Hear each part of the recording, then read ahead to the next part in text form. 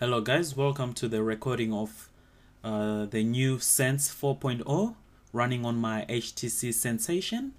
Uh, this is based on Ice Cream Sandwich version 4.0.4. So the custom ROM I'm running right now is CoinDroid. Uh, there's a collaboration between one of the guys and the guy who makes Insert Coin. Most of you are familiar with that. So here I'm just going through the home screens uh, showing you how cool it is. The live wallpaper that you see in the background comes um, preloaded with this uh, Sense ROM. So you don't need to get that from the market. It looks pretty cool. Uh, if you notice it's running a bit slow, this is because of uh, the recording program I'm using.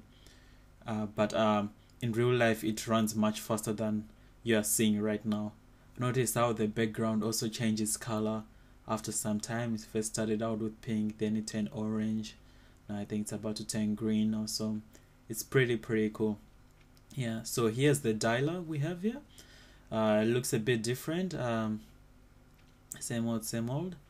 Uh, got the people's tab, the groups tab, and the call history tab. And you can like swipe over those and you gives you like this 3D effect, which is pretty cool. The pointer that you're seeing there uh, is from the program I'm using as well, Screencast. Um, what else am I going to show you next? Yes, uh, now I'm going to go to the messages. Again, don't mind the lag. Uh, this is because of the recording program I'm using. It's using so much processing power. So yeah, that's the messaging app. And um, doesn't really look much different to the old sense except for the colors, some of the things there and uh, you know you can um, pinch to zoom in and pinch to zoom out. That feature still remains the same. It's there on the older older versions of sense.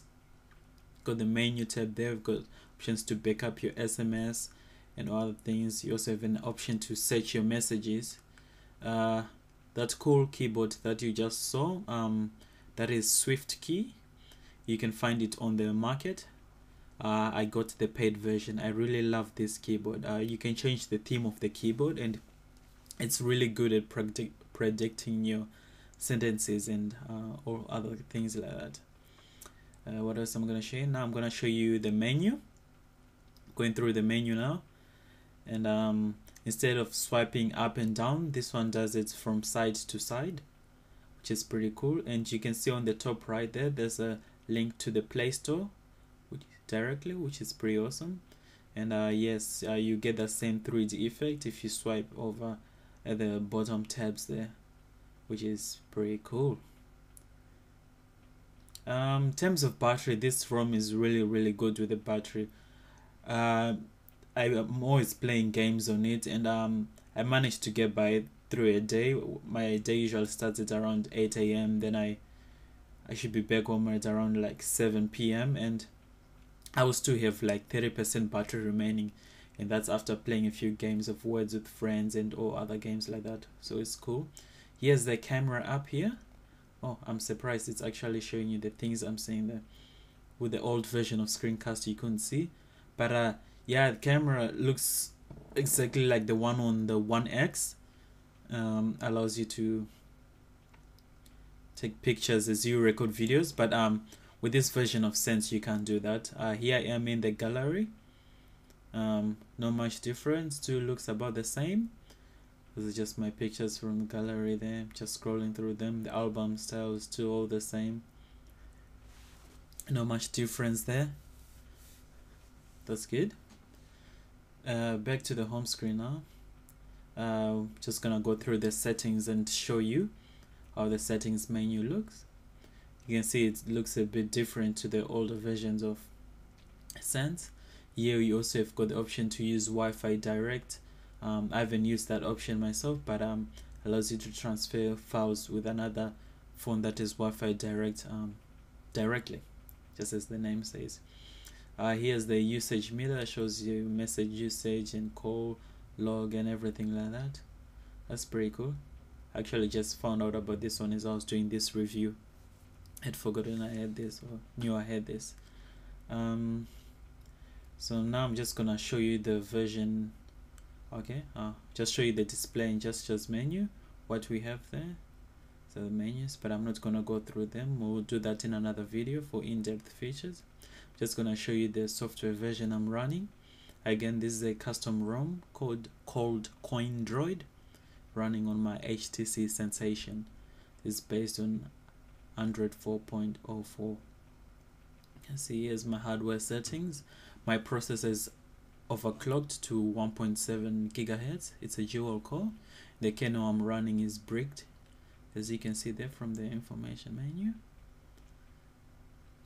Yeah. Just gonna show you the power settings there and um, it hasn't really changed much from uh, older versions of Android. It just shows you uh, yeah what's going on there. I really have bad reception reception over here so it's the most thing that eats my battery. Yeah, otherwise I'll be getting much much better life. Here's the notifications menu. Uh, just hit the clear button there and you can jump straight to settings from there. I'm sure there are mods for you to have quick settings in the notification bar but um I'm not aware of them. I haven't really bothered to look for them but I'm sure they will be there somewhere uh,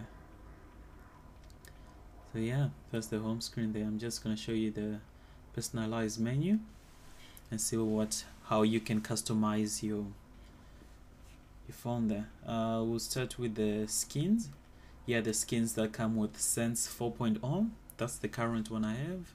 Then there's the original one you start with when you flash your phone. I've got the aluminium one and the matte one but um, I like the serene one because it's tra transparent allows you to see yeah behind through uh, here the lock screens. You can see there's a new lock screen here the productivity. It's not there in other versions of Sense so that's pretty cool. Uh, you're all familiar with the Fold album stream and the friend stream lock screen and weather lock screen. This one is a new one as well the people lock screen. Uh, clock. And the stocks lock screen but I don't have any shares so never gonna use that lock screen. Yeah so just me scrolling through there showing how it is. Uh, so when you do a long press to press widgets this is the screen that comes up. It makes it so much easier to scroll through widgets and apply them. In the previous versions of sense it was really painful to put widgets in the log on, on your screen because you'd have to scroll through an endless list and every time you did it was so painful. But with this one you can see the home screens. You want to apply the lock screen to and you can scroll those home screens. And uh, yeah choose the widgets you wanna. So yeah sense 4.0 is really a big improvement. You can see it's really easy how to put widgets there over there and you can just jump to any home screen by tapping on those screens right at the top there.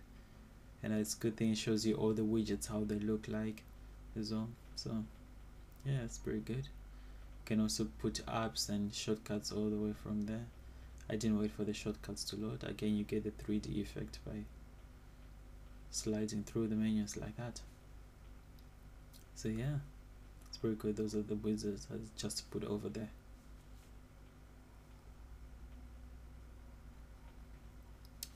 Uh, what am I gonna review next? Yes the clock. Uh, I really like the world clock they have here. It's like it has the 3d effect. It's pretty pretty awesome. So it shows me my location there. And uh, you can see the lighting on the on the earth itself. Depends on the time what it is there. So you can see over the Americas it's dark right now and over in Australia it's light. This is pretty awesome. Now the alarms menu still looks about the same. Stopwatch still looks about the same and the timer still looks about the same as well. And again you get the 3d effect if you scroll over at the bottom there which is pretty pretty cool. Next we'll look at the weather. Weather hasn't really changed. It's just about the same as well. Uh, I'm not gonna go in depth into it but um just show you the few screens you can see there. I can show you the hourly weather or the four day forecast it's pretty simple. You can see the animations there. That's nice. So yeah that's it there. I'm gonna restart the recording. I'm just saving it right now in case it will crash. I'm afraid that uh, it might get overloaded. But um in the next review oh yes uh, it's already on. Uh yes uh so this is the task manager. When you do a long press of the home button that's the screen comes up uh, oops what's going on here? Oh yeah that screen casts the application I'm using to recording so I'm just gonna stop that and restart the recording. Okay now I've started the recording again so I'm gonna show you the task manager. You do if you press the home button once uh, you get to see all the panels the home screens you have. It's very cool.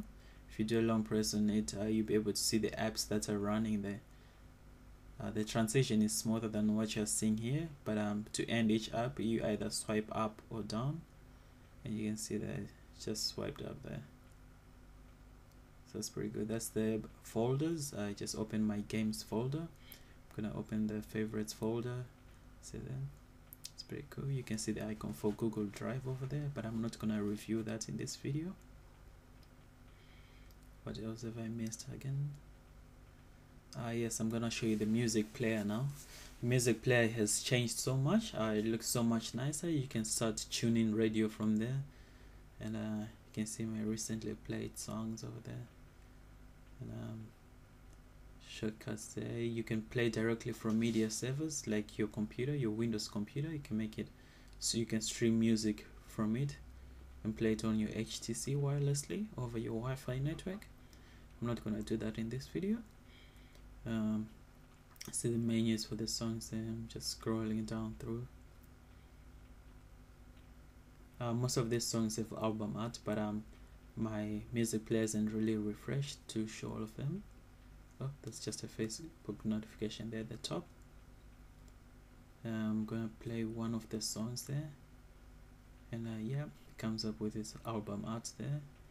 If you click on that I menu I'm just click there and uh, you can set this song as your ringtone. It has a ringtone trimmer. At the top there you get an option of um, updating the album art. And um,